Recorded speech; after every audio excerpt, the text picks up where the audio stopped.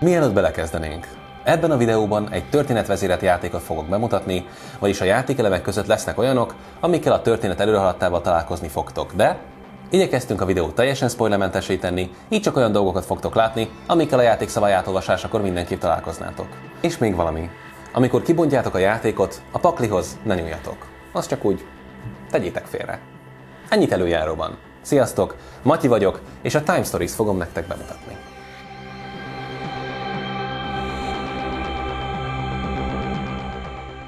Tegyétek a táblát úgy, hogy a játékosok felé nézzen. Emellé pedig az életerőjelzőket, a különböző pajzsokat, az erőforrásjelzőket és az állapotjelzőket szétválogatva, valamint az időkapitánykockát, az időjelzőt, a csapatjelzőt és az akciókockákat. Ezután minden játékos vegyen magához egy tetszőleges színű ügynökbábút és a hozzátartozó kisbábút. Ha mindez megvan, akkor most már jöhet a pakli. Miután kibontottátok a csomagolást, fontos, hogy ne nézzétek át, és főleg ne keverjétek össze. Ez a pakli lesz ugyanis maga a történet, a küldetés, amit végigjátszotok. A Time Stories ugyanis egy olyan kooperatív játék, amelyben a Time ügynökség időügynökeiként a történelem különböző pillanataiban időnként eltérő idősíkokon kell egy-egy történet végére járnatok. Egy pakli, egy történet, és a Time Stories minden kiegészítőjében egy újabb ilyen lapul, eltérő zsánerekből. Lesz itt horror, fantasy, thriller, de minden egyebet a kártyákon kívül, amire a végigjátszásos szükségetek lesz, vagyis tulajdonképpen a játék keretrendszerét megtaláljátok ebben a dobozban. Ezt pakoltuk ki eddig. És akkor most jöjjön a pakli. A pakli tetején és alján egy-egy vágólapot találtok. Ez arra szolgál, hogy nehogy idő előtt tudjatok meg valamit. Az alsót hagyjátok rajta, a felsőre viszont nem lesz szükség. Ez tulajdonképpen egy helyszín, vagyis ugyanoda kerül ki, ahová majd a helyszínek is.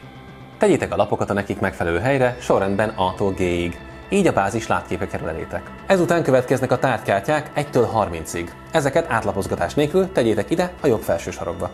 A következő négy lap a térkép.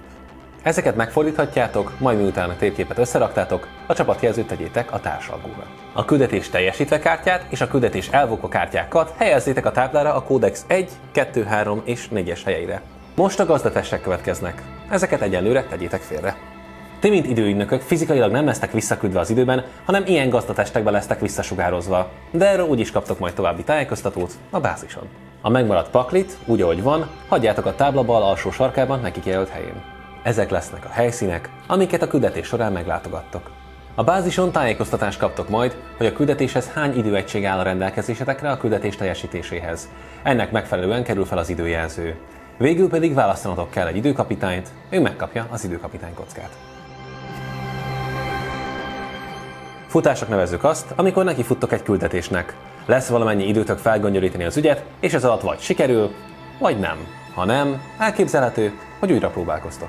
Egy ilyen futás tulajdonképpen egy játék alkalom. Egy ilyen futás alatt két dolog történik. Vagy felfedeztek egy helyszínt, vagy az egyik helyszínről a másikra vándoroltok. A példa kedvéért lássuk az első helyszínt. Nyugalom, a játékszabály is ezt használja bemutatásra, vagyis ezzel a panorámával mindenképp találkozni fogtak a szabálytanulás közben.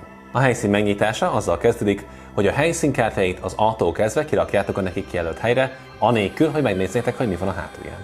Ezután az időkapitány felolvassa az A kártyát, majd azt lerakja felfordítva. Ezután következik a belépés a helyszínre. Minden ügynök elhelyezheti a saját bábuját valamelyik helyszínkártya fölé. Több játékos is felfedezheti ugyanazt a kártyát. Persze azért akadnak korlátozások.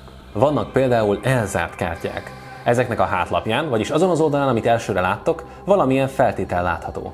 Ahhoz, hogy ezek a helyszínek felfedezhetőek legyenek, ezeknek teljesülnie kell. Ez a feltétel lehet egy vagy több állapotjelző megléte, vagy egy tárgy megléte, vagy az, hogy az egész csapat egy helyen álljon, vagy az, hogy egy konkrét gazdatest álljon a kártya fölött.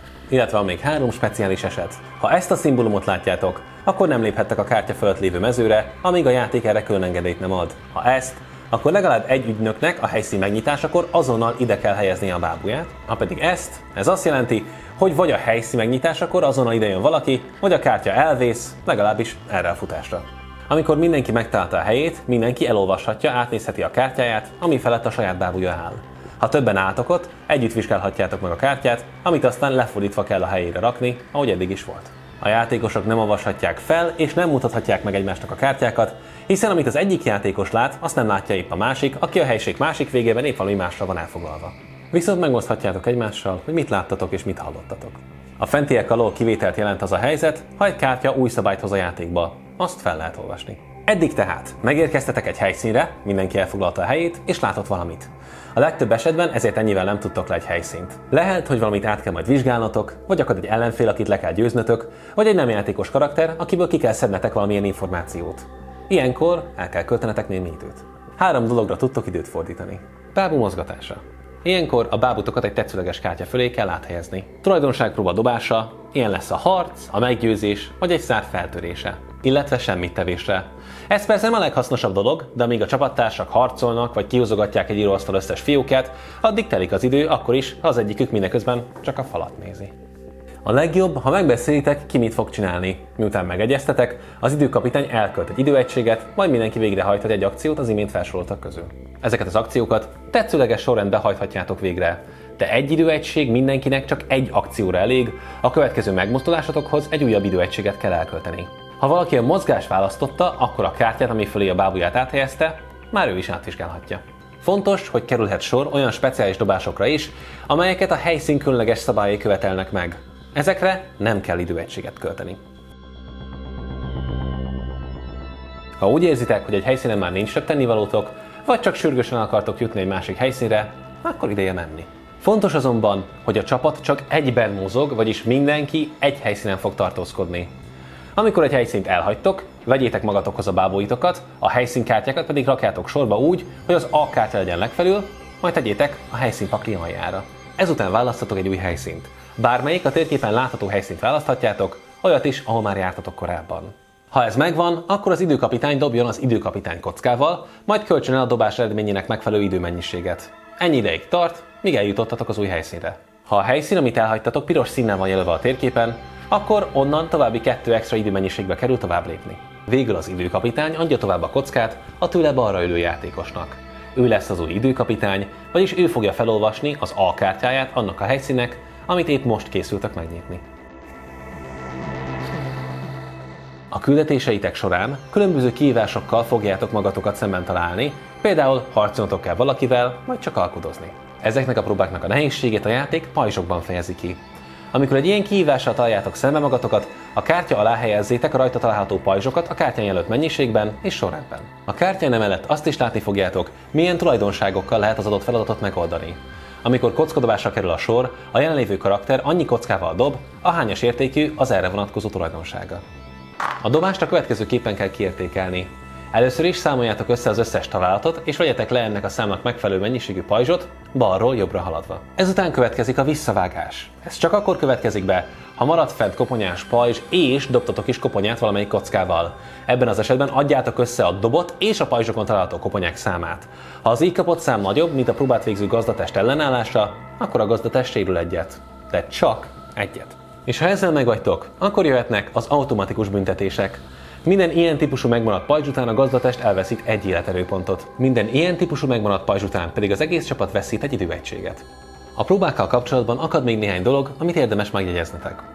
Ha a kártyán egy piros lakat látható, akkor a játékos addig nem mozdulhat el onnan, amíg a próbát nem teljesítette. Egyébként egy próba háromféleképpen érhet véget.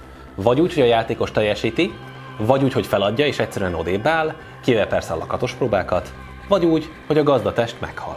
Pusztán azzal, hogy néhány pajzs lekerül, néhány pedig fennmarad, a próba nem ér véget. A játékosok a következő időegység után tovább próbálkozhatnak, sőt, ha más játékosok bábúja is e fölött a kártya fölött állnak, akkor ők is szedhetik le tovább a pajzsaikat. Viszont ha egy próbát félbehajtatok, vagy elhagytátok a helyszínt, akkor a próba automatikusan alaphelyzetbe áll. Ha a próba egy ellenfél legyőzése volt, és sikerült is legyőzni, akkor az ellenség kikerül a játékból, és a futás végéig nem is kerül már vissza. Volna itt még egy-két fontos szabály, mielőtt neki futnátok az első küldetésnek. Biztos magatoktól is eszetekbe jutott, hogy ha egy gazdatest meghal, az még nem jelenti mindennek a végét, hiszen titeket, az ügynököket csak visszasugároztak abba a testbe. Nos, ez így igaz, de ez az egész visszasugárzás hosszú és körülményes feladat, ezért ha valamelyikőtök gazdateste meghalna, akkor az ügynök egy kis ideig az intertemporális örvényben fog sodródni. Egészen konkrétan 7 időegységen keresztül. A kis bábuját tehát helyezzétek az időjelzőtől 7 időegységnyire előre. Ez alatt az idő alatt a tárgyait a többiek használhatják, ha pedig az időjelző eléri a bábuját, az ügynök teljes életerővel rendelkező gazdatesttel tér vissza a játékba. Ha 7 időegység már nem áll rendelkezésetekre, akkor sajnos a futás végéig az ügynök már nem tér vissza. Ha pedig egyszerre mindannyiótok gazdateste halott, akkor ideje elolvasni a küldetés elbukva időegység miatt kártyát. Ha az ügynökség lehetővé teszi számotokra, talán még újra próbálkozhattok egy következő futás alkalmával. Ilyenkor majdnem minden kezdődik előről, viszont az ügynökség szimbólumával megjelölt tárkártyáitokat megtarthatjátok. Minden mástól pedig meg kell, hogy váljatok. Egy futás egyébként többféleképpen is véget érhet. Elbukjátok a küldetést, ha kifuttok az időből, vagy egy pillanatban halott az összes gazdatest, ilyen esetben ezt a kártyát kell olvasnotok. Küldetéstől függően persze másként is elbukhattok, ugyanakkor a futás véget érhet azzal is, hogy a küldetést teljesítettétek. Fontos, hogy egy küldetést csak akkor teljesítettetek, ha a játék azt egyértelműen jelzi és felszólít arra, hogy olvassátok el a küldetés teljesítése kártyát. Még arra is van lehetőségetek, hogy egy küldetést félbehagyjatok és elmentsétek a játékállást. Ez nincs más dolgotok, mint a játék elpakolásakor követni a szabálykönyv végén található útmutatót. Az alapdobozban található thriller persze nem az egyetlen küldetés, amit rátok bízna az ügynökség. Az egyes kiegészítőkben újabb és újabb lebilincselő történetek várnak rátok. Ez minden, amit előzetesen tudnotok kell. A többiről a bázison kaptok majd eligazítást. Felkészültetek? Akkor bizonyítsátok be, hogy az ügynökség nem csak az idejét vesztegette, amikor titeket alkalmazásba vett. Jó játékot kívánok!